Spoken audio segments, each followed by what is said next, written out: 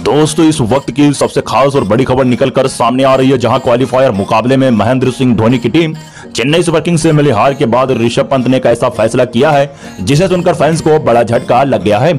जी हाँ दोस्तों, स्वागत है आप सभी का हमारी एक और नई वीडियो में। वीडियो में आगे हम आपसे बात करने वाले हैं क्वालिफायर मुकाबले में हारने के बाद ऋषभ पंत ने आखिर क्या बड़ा फैसला किया है तो आपका ज़्यादा समय ना लेते हुए चलिए शुरू करते हैं आज की ये बेहद खास वीडियो। लेकिन उससे पहले दोस्तों, अगर आप लोग भी ऋषभ पंत को एक बेहतरीन विकेट कीपर व कप्तान मानते हो तो इस वीडियो को लाइक ज़रूर कीजिएगा और साथ ही कर ले हमारे चैनल को सब्सक्राइब। जैसा कि आप सभी को पता है कि आईपीएल अपने अंतिम चरण पर पहुँच चुका है। क्वालिफायर मुकाबले में चेन्नई सुपर किंग्स और दिल्ली कैपिटल्स आमने सामने थी। इस मुकाबले में चेन्नई की टीम ने दिल्ली कैपिटल्स को हराकर फाइनल में जगह पक्की की है। गुरु के हाथों मिली हार के बाद ऋषभ पंत ने बड़ा बयान दिया है और अपनी कप्तानी को छोड़ने को लेकर संकेत भी दे दिए हैं।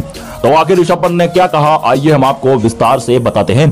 मैच के बाद ऋषभ पंत ने भावुक होकर कहा कि मैंने हर मैच में दिल्ली कैपिटल्स की जीत के लिए अपना 100 परसेंट दिया है।